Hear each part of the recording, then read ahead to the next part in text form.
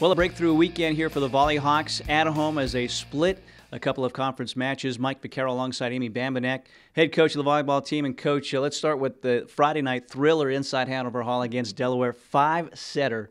Uh, what was that like? The energy in that building, and to, to break through after some some tight matches here to get a victory against Delaware. I mean, it was a, definitely a needed breakthrough for our team, and it was you know one of the goals we set out um, early you know in the week is to try to go to know this weekend uh, um, on our home court. But um, Delaware, I felt uh, we came out very strong, and we we had a few sets that were a little up and down uh, offensively, and we just had trouble containing one of their players.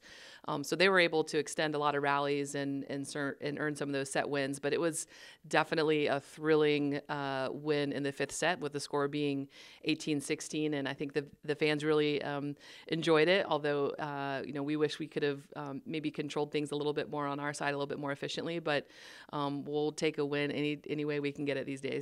And winning like that, what what does it do for a team when you win in a thrilling fashion, going back and forth in that fifth set? What does it do for a team? I mean, it's definitely a confidence booster, and we need to be in more situations where um, the score is close, and you know we just need to be able to have that opportunity to finish those sets um, when that score is close, or even being able to um, change the momentum if we're trying to if we're behind by three or four points um, kind of playing that internal comeback game on our side of the net um, is crucial for for our players. And there are some teams that are just a veteran at being in those tight situations, and they have just a confident calm about them, and that's what we're trying to get to uh, with our team. But overall, um, the Delaware match was definitely a lot of fun. We had four players that were in double-digit kills, so I think um, overall offensively.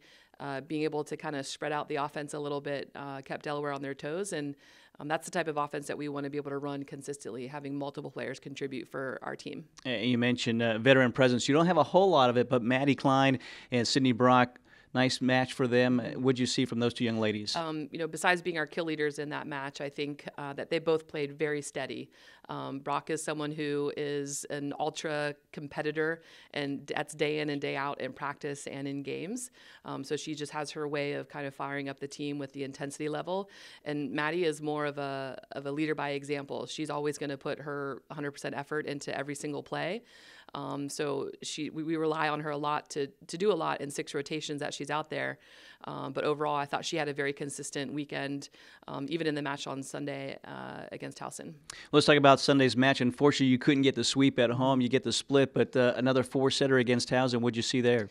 Yeah, I mean, we came out really strong in that first set. Um, I think uh, that probably woke Towson up a little bit in the second set, um, and that's something we've been talking about all season long. Is that second set we've got to have a little bit different of a mentality going into it. We've been dropping that second set too often all season, and um, uh, just being able to to refocus and maybe come up with some new strategies uh, in that set um, is going to be important. And when we're only losing by two or three points in that third and fourth set against Towson, when I kind of look at the stat sheets, I'm seeing a, a, quite a few blocking errors that we aren't normally used to having, which means our blockers are in the net a little too often. Um, maybe not being as disciplined as we want to on defense and allowing Towson to get uh, 16 kills per set in the first three, and then they had 22 kills in the second set. So they're scoring a lot of their own points, and we just have to be able to slow um, teams like that down a little bit, uh, a little bit more efficiently. So certainly some correctable things as you mm-hmm. go into another road swing here. It'll be Friday against William Mary, and then Sunday against Elon. Uh, two tough teams, but two, as we said, maybe 50-50 kind of games. Ones that yeah. you can win matches on the road here. Your thoughts going up against those teams uh, on the road here this weekend? I mean, th- they're going to be feisty. I think it's so early in our season um, that everybody's going to be fi- fighting for uh, a spot in the top six, uh, you know, seedings for the conference tournament. And right now, nobody is out of that uh, is out of that arena because it's so early. And um, obviously, being on the road um, is always a little bit tougher. But I think that our players are are very determined and still trying to achieve their goals um, this season, and we're going to have to work on a few things this week in practice to get ready for you know two new opponents that we haven't seen yet. Um, it's always fun kind of seeing who those new what what those new opponents bring, but we've got to be able to adapt to them pretty quickly. That'll be the first of uh, two matches between the the Seahawks, William and Mary again on Friday, Elon on Sunday. Those matches will be on the Seahawk Digital Network. If you cannot make it out to the road to see those, the Seahawks back home here in a couple of weeks, Coach. So again on the road and then back at Hanover Hall next week. Best of luck here this week. Thank you.